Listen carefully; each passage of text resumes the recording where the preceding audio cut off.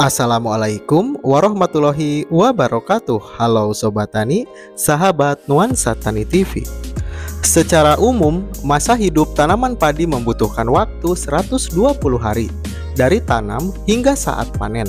Selama masa tersebut, tanaman padi akan melewati beberapa fase. Meliputi Pertama, fase pratanam atau persemaian Merupakan fase yang dimulai saat tebar benih di persemaian Fase ini tidak berlaku pada sistem penanaman secara tabela atau tabur benih langsung. Kedua, fase vegetatif.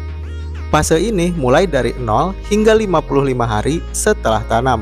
Merupakan fase saat tanaman padi mulai berkecambah melakukan adaptasi lahan, membentuk perakaran, daun, batang, serta anakan secara aktif hingga mencapai inisiasi primordia atau awal pembentukan malai. Terakhir, fase generatif yang terdiri dari dua masa, yaitu masa reproduktif atau primordia bunga, mulai dari 55 hingga 85 hari setelah tanam. Fase ini merupakan saat tanaman padi mendiferensiasi sel-sel membentuk organ-organ reproduktif seperti bunga dan malai, pemanjangan ruas-ruas malai, pembentukan daun bendera, hingga pembentukan bulir dan pengisian. Pada fase ini, pembentukan daun dan anakan baru menurun drastis. Demikian pula ketahanan tanaman mulai menurun, mudah terdampak oleh serangan hama dan penyakit. Selanjutnya, masa pemasakan, mulai 85 hingga 100 hari setelah tanam. Merupakan fase saat pengisian bulir sudah mulai penuh dan memadat, memasak kuning, memasak penuh, hingga masak mati, di mana bulir sudah padat dan berhenti mengisi. Pada masing-masing fase tersebut, membutuhkan perlakuan secara khusus dan spesifik hingga nantinya padi berkembang dan menghasilkan panen secara optimal. Salah satu aspek yang harus benar-benar diperhatikan adalah pemupukan berdasarkan fase pertumbuhan tanaman padi. Di video kali ini, Nuansa Tani TV akan membahas 5 nutrisi yang dapat membantu dan mempercepat proses pengisian bulir agar bernas sempurna dari pangkal hingga ujung malai. Berikut ulasannya.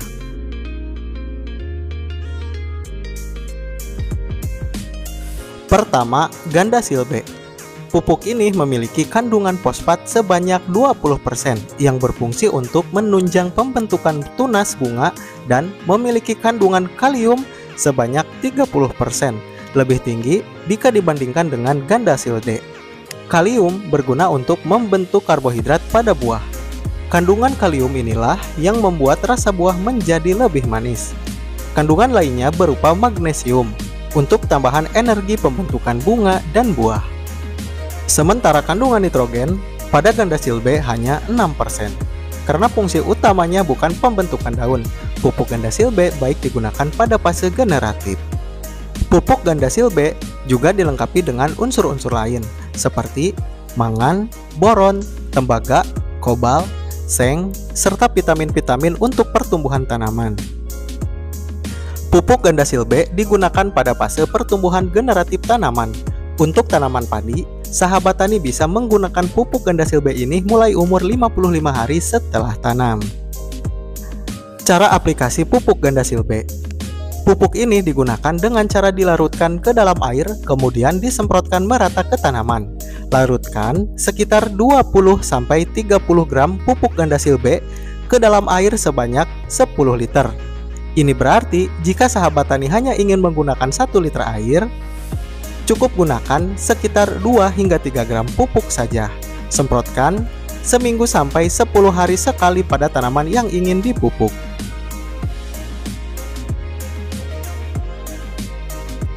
Kedua, pupuk MKP Pak Tani. MKP Pak Tani merupakan pupuk monopotasium fosfat berbentuk kristal yang mudah larut dalam air sehingga sangat mudah diaplikasikan dengan cara disemprotkan maupun dikocor. Dapat diaplikasikan lewat tanah, daun, atau sistem hidroponik. Pupuk MKP Pak Tani selain mudah larut dalam air dan mudah diaplikasikan, pupuk ini juga memiliki manfaat untuk merangsang pertumbuhan akar dan pembungaan, serta mencegah kerontokan pada bunga dan buah.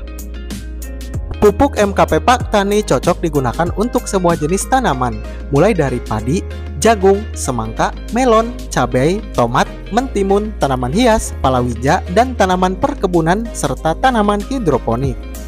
Aplikasi pupuk MKP Pak Tani dilakukan saat menjelang pembungaan sampai pengisian buah. Tiga kali aplikasi dengan interval satu minggu. Sementara untuk dosis, sahabat tani bisa menggunakan 3 hingga 5 gram per liter air. Larutan, pupuk MKP dengan takaran 2 hingga 4 sendok makan per tangki semprot atau 0,5 hingga 1 kg dalam 200 liter air. Ketiga, pupuk Astonis. Astonis merupakan pupuk nutrisi pelindung tanaman. Pupuk makroma jemuk NK yang berasal dari ekstrak lumput laut berwarna kuning kecoklatan dan mudah larut dalam air.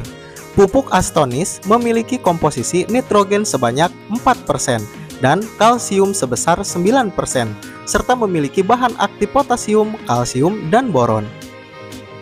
Keunggulan dari pupuk DGW Astonis yaitu menyediakan unsur kalium dan boron bagi tanaman, mencegah kerontokan bunga dan buah, meningkatkan ketahanan tanaman terhadap penyakit dan stres terhadap lingkungan, meningkatkan viabilitas polen dan pembentukan bunga dan biji.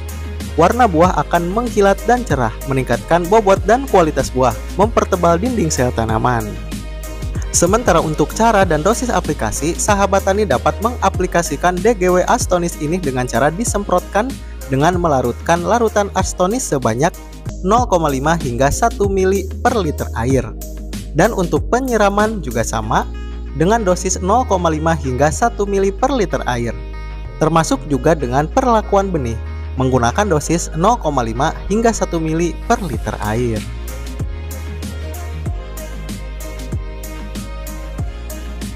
Keempat, zat aktivator tanaman Ambition. Ambisian merupakan zat aktivator tanaman produksi Bayer yang mengandung tiga unsur organik seimbang, asam amino, asam pulpat, dan unsur mikro untuk membantu aktivasi pertumbuhan tanaman pada tunas baru, pembungaan, pembentukan buah, dan hasil panen secara cepat memulihkan tanaman dari stres akibat biotik atau abiotik dan penyerapan nutrisi yang lebih baik, kandungan unsur mikro untuk membantu pertumbuhan, perkembangan, dan produktivitas tanaman secara optimal.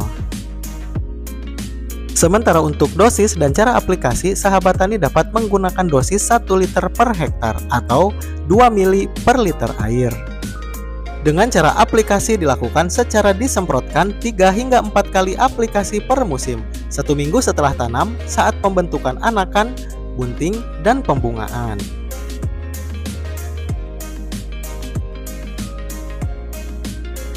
Terakhir, pupuk cair KCL Gold. Pupuk KCL Gold memiliki kegunaan untuk mengurangi kerontokan pada bunga dan buah, meningkatkan ukuran pada buah dan umbi, menguatkan tekstur warna, rasa, dan buah, mencegah terjadinya serangan penyakit pada bunga dan buah, mengoptimalkan pertumbuhan akar, batang, serta daun, meningkatkan mutu dan hasil panen.